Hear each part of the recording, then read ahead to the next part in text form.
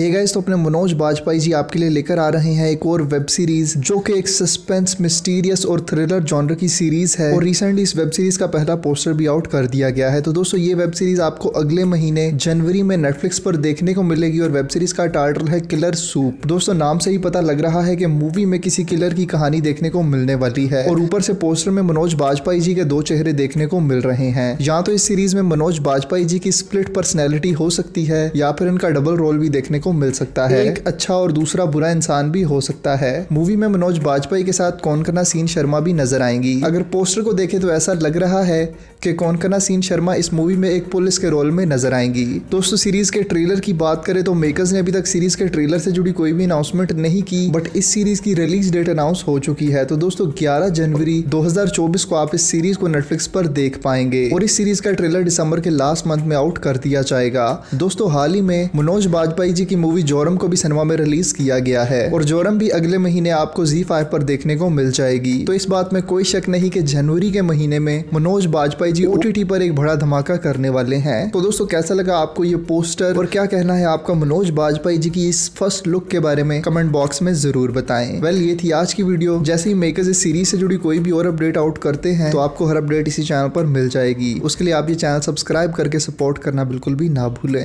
thanks for watching